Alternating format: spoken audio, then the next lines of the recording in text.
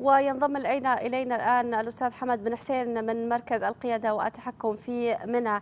مرحبا بك. كيف يبدو الوضع العام في جسر الجمرات؟ طبعا بدأ يتوافد حجاج بيت الله الحرام إلى الجمرات منذ ليلة أمس لكن كانت الحركة أقل من المتوسطة. بعد الساعة السابعة زادت كثافة الحجاج. لرمي جمرة العقبة. هناك تعاون كبير بين الحجاج وبين رجال الأمن لتنظيم رمي الجمرات. الحركة آمنة وسلسة للحجاج بيت الله الحرام. بفضل الله ثم بتنفيذ الخطط للطرق المؤدية إلى الجمرات ومن ثم الاتجاه إلى المخيمات. طبعا يسرنا أن نستضيف معالي الفريق خالد قرار قائد قوات أمن الحج. أهلا بك.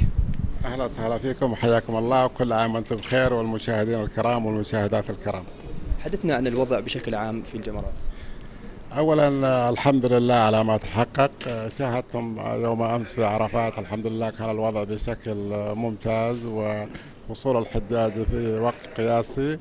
وكانت الحركة منضبطه سواء بالصعود وبالنفره إلى مزدلفة بنفس الطريقة. كان الوضع الحمد لله جيد ولم تسجل أي حالة.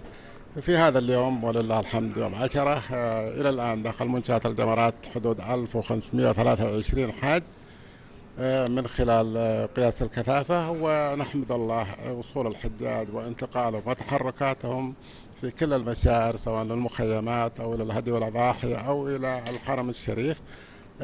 كلها كانت انسيابية ولم تسجل عندنا ولا حالة وقد نقول الآن نحن مطمئنون أن هذا اليوم إن شاء الله تعالى أخذ وضعه الطبيعي والحجاج الآن أغلبهم في مخيماتهم أو في أداء مناسكهم سواء في مكة في طواف الإفاضة أو في الهدي والأضاحي. ولكن إحنا اليوم نستبشر خير أن هذا اليوم اليوم العاشر مر إن شاء الله بسلام وأريحية للحجاج و نهني بعض في هذا اليوم ونتطلع أن نستكمل مهمتنا في هذا اليوم بنفس الجودة والحماس لأن هناك مليون وخمسمائة وثلاثة وعشرين ونتوقع أن بقية الحجاج في الساعات القادمة حيكون توافدهم إلى المشعر وإن شاء الله يكتمل فرحتنا في هذا اليوم لنكمل رسالتنا غدا واليوم الذي يليه والذي يليه بمشيئة الله ماذا عن التزام الحملات الحج بالأوقات المحددة لرمي الجمرات؟ آه الحمد لله يعني هناك التزام جيد وهذا العام في تعاون كبير حقيقة في هذا الجانب وقد تكون يعني إيجابية هذا الموضوع نلمسها غدا ويوم الثاني عشر بشكل أكبر ونتمنى أن يكون الالتزام في اليوم الثاني عشر آه ألا يكون هناك متعجلين أن يكون 50% ويوم الثالث عشر 50% ليحقق لهم الراحة في تحركاتهم إن شاء الله سواء للجمرات أو في الطرق أو في الحرم. في طواف الإفاضة والسعي بمشيئة الله ما هي الخطة لديكم في الساعات القادمة وأيضا في الأيام القادمة؟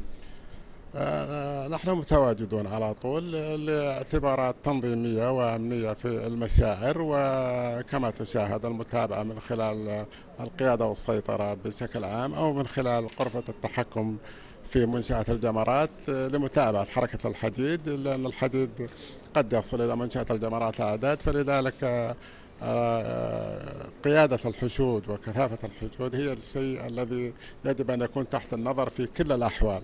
وفي كل الأوقات وأنت تعلم حشود تنتقل بهذه الكثافة. نحن أحيانا في ملعب كرة لا يتجاوز الأربعين خمسة وأربعين ألف يقع ما يقع فيه من مشاكل. فما بالك عندما يكون تحرك بحدود أكثر من مليونين من موقع إلى موقع ولمسعر ولهدف واحد مثل هذا اليوم. هذا اليوم يتجه جميع الحجاج إلى العقبة الكبرى الجمرة الكبرى في مكان واحد وفي حيز واحد وفي جمرة محيطها لا يتجاوز 33 متر ومع ذلك يكون هذا التنظيم والحمد لله هذه هي المهنية في أداء العمل وهذه الخبرة التراكمية لدى رجال العمل والحكومة السعودية. من فضل الله تهيأ كل السبل في تحركات الحجاج في تنقلاتهم في شربهم في سكنهم في دقائق في ساعات معينة. نحمد الله على ما تحقق وهذه قدرة إلهية وتوفيق من الله سبحانه وتعالى. شكرا لكم. شاكر ومقدر لكم. شكرا. كان معنا معي الفريق خالد قرار.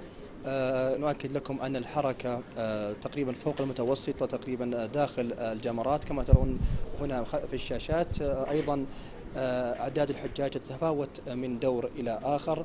لكن بشكل عام الحمد لله الأعداد لم تصل إلى الحد الأقصى لطاقة الجمرات. وعودة إليك سيدي. نعم شكرا لك حمد بن حسين من جسر الجمرات شكرا جزيلا لك.